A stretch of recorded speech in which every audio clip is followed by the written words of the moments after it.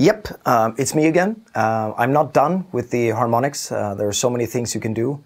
Uh, when you feel that you are in control, you can. Uh, the first four strings are fairly easy. The B string is very, very, very hard to do it, but but you can really give it a go because it's there. You know, I get some frustrated emails, and uh, very often at my uh, Freak Guitar Camp, which is a camp I'm doing every year in Sweden. I've done it for 15 years in a row. I get very, oh, it's not in my guitar. Can you do it on my Strat? Or do you have some kind of uh, uh, whammy pedal or, or uh, you know, whatever effect in your, uh, your Swedish leg or something like that? Um, but again, harmonics is in every string instrument, and violin players, they use it all the time. I mean, maybe about a third of everything written for the violin is written with uh, the natural uh, overtone series. But guitar players are very lazy. But you can do better. You can be a good player and really work your butt off and sit down and figure out how to do it, okay?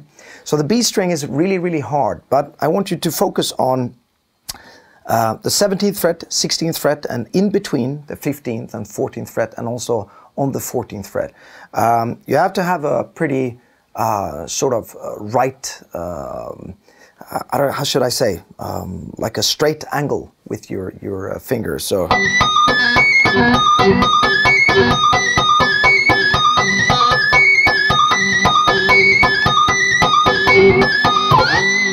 Uh, it's a bit noisy, uh, but but you can do it. But again, you you can't really run around and "How you doing out there?" and so on. Uh, you have to stand still and look at your instrument.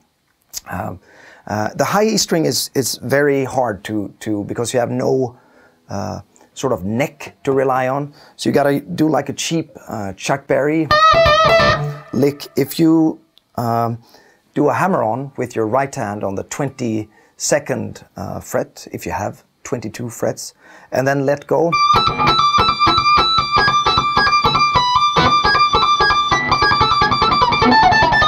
Um, you can use the harmonics on the on the high E string, but it's kind of hard.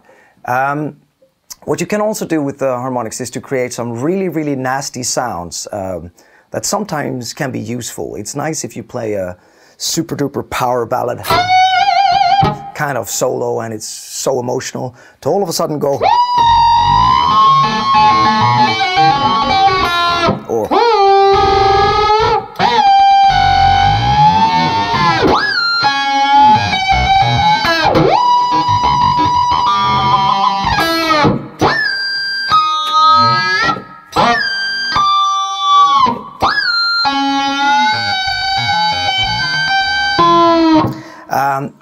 the only thing I do here is basically combine uh, harmonic with any note and then go crazy with my uh, vibrato bar.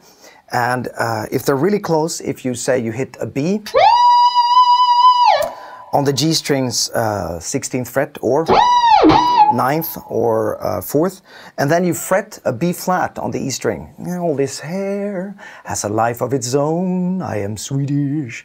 Um, so you smack this one, and then you fret the B flat. Then you will get a terrible dissonance. And if you pull your vibrato bar up, you will have one note going down, and vice versa. You pull it down, one note will go up. So. And. Then you can combine anything. Here you have F and then F sharp on the E string. Sounds terrible, but I like it.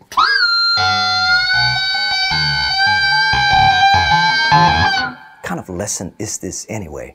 Um, so, and of course, G. Um, uh, then you can combine um, uh, more dissonances by playing, say, G sharp on the fourth fret of the uh, E string, and then A on the fifth fret of the A string. Uh, this, of course, is this dissonance. But this could be your Monday morning wake-up call if you combine all these dissonances.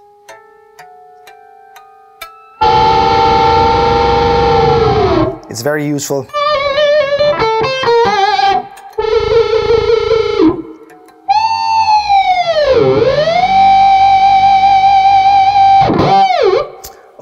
You can do it. You can do it. I know you can do it. Do it.